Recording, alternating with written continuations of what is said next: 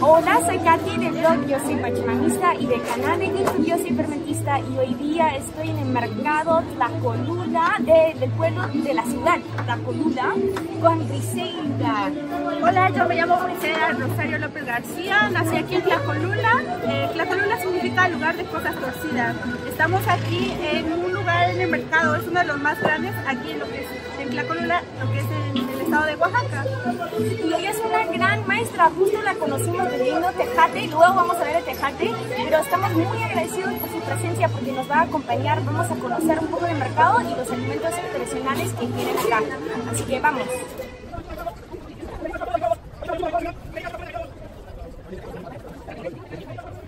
Ahora vamos a ver los chapulines. Eh, aquí se tenemos el puesto, empieza desde los chapulines pequeños, que son los recién nacidos como se podría conocer, y los ya grandes, que. Los chapulines se preparan con sal, limón y chile, tantita, tantito picoso. Eh, se ponen a hervir primero, de ahí se les alcorchan con lo que es el limón y la cebolla, pequeños trozos de cebolla nada más, no muy grandes, con pequeños ajos, pequeños ajos. ¿Y son diferentes especias de chapulines? No, son los mismos, pero son en, en tamaños pequeños y grandes. Ah, No los mismos chiquitos y los grandes. Exacto. Ok. Más barato, dice.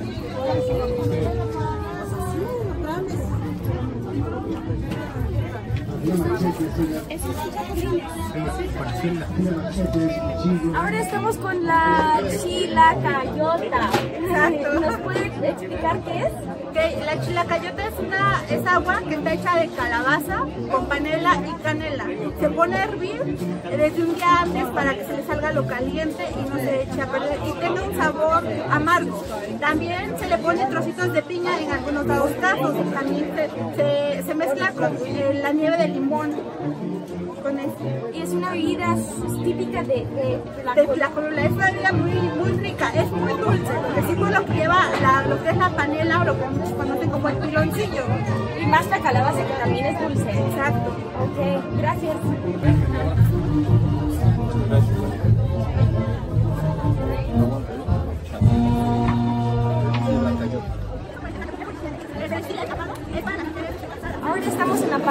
Pan, del mercado de Tlacolula.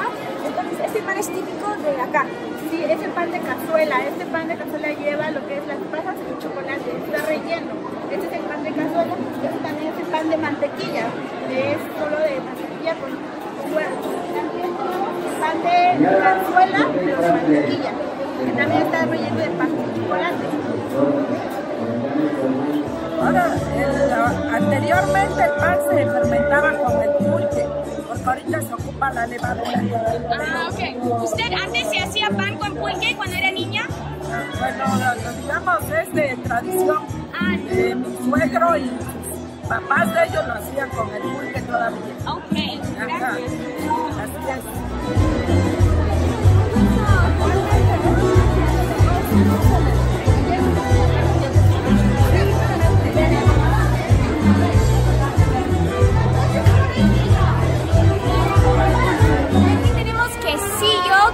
Parte se llama queso Oaxaca. Es un queso típico de acá. de Oaxaca, en sí de la parte de Etla. Ahorita la señora es del Tule. Es un quesillo, este es queso, quesillo con crema. También existe el quesillo descremado, pero el más rico es el queso con crema. Todo es más rico con crema. No hay que quitarle la crema, hay que comerlo con crema. Ah, bueno, y, se consume en todas partes de México, pero se produce acá. Exactamente. Y es un queso con una textura muy, ¿cómo se llama? Que se puede estirar. Elástica. Elástica. Bueno, gracias.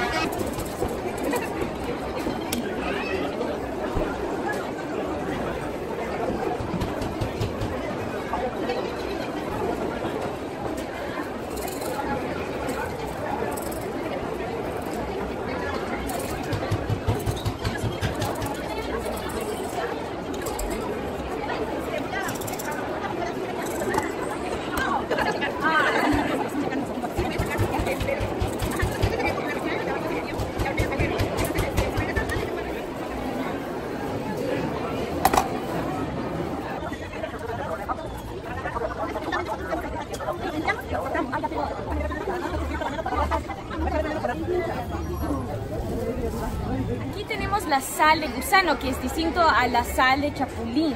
¿Y este gusano de dónde viene? De Sola de Vega, de San Sebastián de las Grutas. Y viene de la raíz del maguey. En la raíz del maguey. ¿En todos, todas las variedades de maguey o en solo Nomás bueno, se dan en el Tobalá.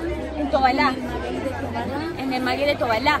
Y solo se cosecha los gusanos durante cuatro meses, ¿no? Ajá, durante cuatro meses. ¿Y cuáles son esos meses? Es en junio, julio, agosto, septiembre. Ok. ¿Y la, la gente suele comprar el gusano así o se suele comprar el gusano ya molido? Bueno, hay personas que les gusta la sal de gusano para las frutas, botanas, ensaladas, el las micheladas. Y el gusano así entero sirve para el mezcal, para la salsa, caldo de guías y caldo de chepín. Y esta sal es el gusano molido más chile, más Sal, chile, sal y gusano y nada más. Nada más. Ok, gracias. Está rico. Pica, pica.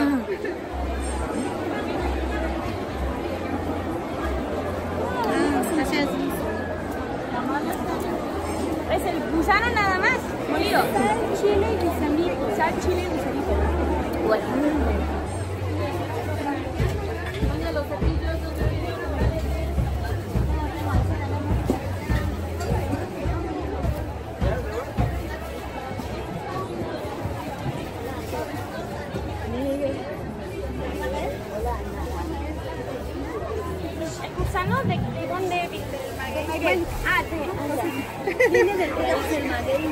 Nos faltó hablar de dos cositas más, pero hay, no, ya no hay. Ahorita ya por el clima, ya. Ah, claro, pues por sí, la porque hora. es- sí, por la hora, porque está haciendo mucho calor. Entonces, primero hablamos de chocolate atole. ¿Qué es el chocolate atole? El chocolate atole se le conoce a la espuma, es, eh, está hecha con cacao blanco. Se muele el cacao blanco y se le agrega tantito atole blanco. Igual se le pone, a- se sirve primero el, el atole y después se le pone la espuma. Ese se, se le conoce como el chocolate atole. Ah, chocolate atole es cacao blanco Exacto. más maíz. Más maíz. Ah, ok. ¿Y se, se fermenta o se sirve No, con se las- sirve, se, se saca mucha espuma como el chocolate, pero es más, más este, espumoso. Ah, ok. Y se toma frío, claro. Este caliente. Ah, caliente. Es Ah, no, caliente. caliente, porque en la mañana. Exacto. Ah, ok, ok. Y luego los higaditos. ¿Qué son los higaditos? Los higaditos es una comida tradicional de aquí también de Tlacolula. Está hecha de huevo, mil tomate, tomate, cebolla, ajo y eh, pedacitos de pollo. Se pone a hervir todo. Lo, primero se sancocha lo que es el mil tomate, el tomate, la cebolla, el ajo. Se, se pone a sancochar. Después se le va a aumentar lo que es el huevo. Pero el huevo en un punto de que no se llegue a batir. Tiene que estar eh, con una especie como si fuera de... ¿Cruda? no, no, No. crudo, pero este no batido totalmente. Ok. Como el tomate saca mucho jugo, Ajá. entonces este, hay que tratar de que no ni esté muy seco ni muy aguado. Ok. Y de ahí se le agregan lo que es los trocitos de pollo. Eh, normalmente eso sí es un largo este, proceso de elaboración y también se le agrega, aquí en México más que nada, es lo picante, ¿no? Entonces al final se le pone la salsa roja que está hecha con chiles de palo y tomate o mil tomate. Ah, ok. Bueno, en otra oportunidad vamos a poder probar los higaditos y el chocolate atole. Gracias. Bueno, terminamos el recorrido del mercado de Tlacolula con Briseida, aquí en el puesto de su familia, donde viene tejate. Y aprendiste a hacer el tejate de tu bisabuela. Exacto, bueno, la familia de mi papá eh, lleva haciendo el tejate aproximadamente más de 50 años. Entonces, eh, mi bisabuela fue la que inició el, el puesto de lo que es el tejate. Una bebida muy tradicional y muy refrescante. El tejate, ¿por qué se empezó a hacer aquí? ¿Por qué? Porque aquí, como en los pueblitos alternos, ahí eh, se pisca, se va a recoger lo que es la mazorca, se, se siembran mil tomates, se siembran diferentes cultivos. Entonces, ¿qué es lo que hacen? Cuando llega la temporada de pisca, se va, se- las mujeres se quedan en casa para preparar lo que es el tejate, para ir a mediodía a darle una jícara, ahí no son pequeñas, son grandes las jícaras, se la toman, eso tienen como para llegar a su casa y a comer la, el, el tejate es una bebida muy tradicional y muy refrescante, te quita el calor. Eh, está hecho de maíz, cacao y flor de cacao. Y a veces también puede llevar coco. Exacto, ahorita lo que es también el tejate de coco, que está hecho nada más de maíz y coco.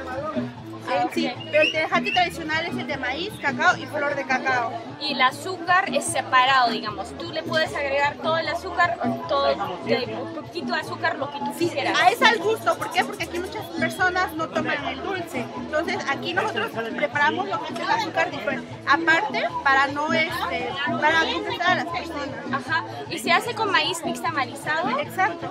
Ah, eh, se, se prepara desde un día antes, se, se pone a cocer el maíz, de ahí se tiene que lavar para que se le quite toda la, todo lo sucio. Se pone a orear y al día siguiente se lleva al molino. ¿Por qué en el molino? Porque es una práctica, ahorita ya casi no se muere en el metate. Nosotros llegamos después del molino, lo extendemos para que se le quite lo caliente y se vuelve a, a moler en el metate. Anteriormente solo se, se molía en lo que es el metate. Claro. Y el cacao es tostado. Exacto, el, ah, el cacao es tostado, al igual que la flor de cacao. Y la flor de cacao no es la flor de cacao. La flor de cacao es un nombre de un árbol.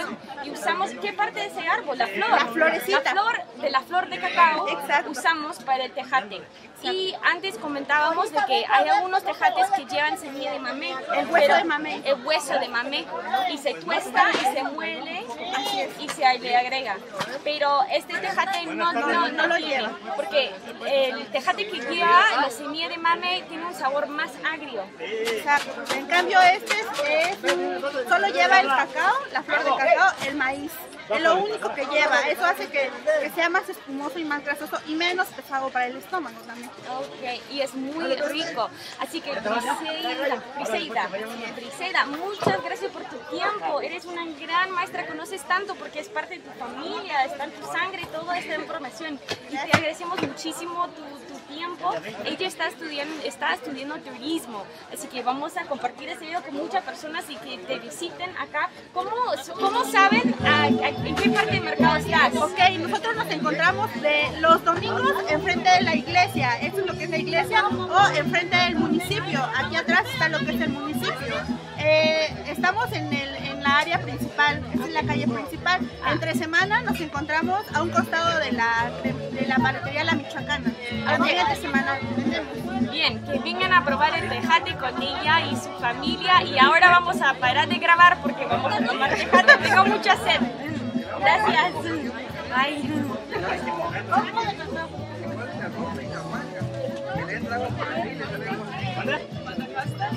Ah, 1500.